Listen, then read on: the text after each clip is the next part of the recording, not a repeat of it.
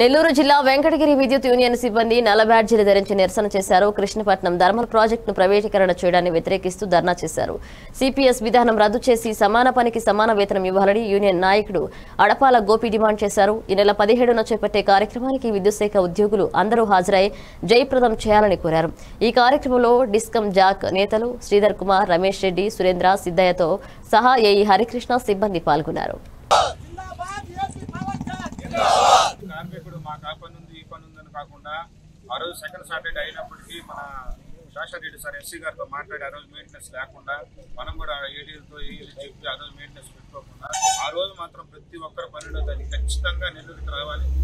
ఏఎస్ని రద్దు చేసి విద్యుత్ సంస్థలు స్వతంత్రంగా జరిగే పిఆర్సీ కమిటీ వేసి మనకు న్యాయబద్ధమైన కోరికల్ని తీరుస్తుందని నమ్ముతున్నాము.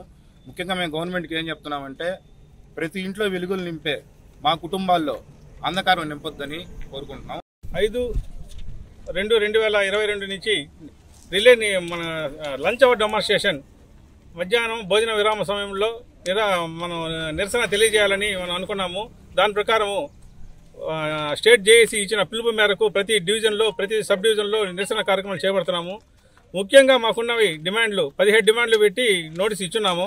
నోటీసులో భాగంగానే ఈరోజు ఇక్కడ నిరసన కార్యక్రమం తెలియజేస్తున్నాము. చేసేటువంటి ఉద్యమం ఇప్పటిది కాదు. ఈ సమస్యల మీద ఏపీఎస్ఈపీ స్టార్ట్ అయినప్పటి నుంచి కూడా ఉండేది.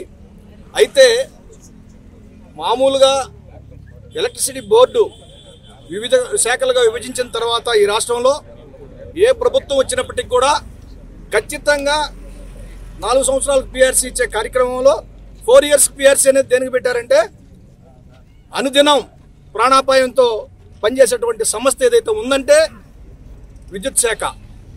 మిగతా డిపార్ట్మెంట్లు కూడా ప్రాణాన్ని కాపాడుతారు అని చెప్పనేసి మొన్న కరోనా పరిస్థితుల్లో వాళ్ళని గుర్తించారు. మెడికల్ వాళ్ళని. మా పరిస్థితి మేము కూడా పనిచేశారు. పనిచేసినా కానీ వీళ్ళని ఎమర్జెన్సీ కింద గుర్తించలా. అది మా బాధ.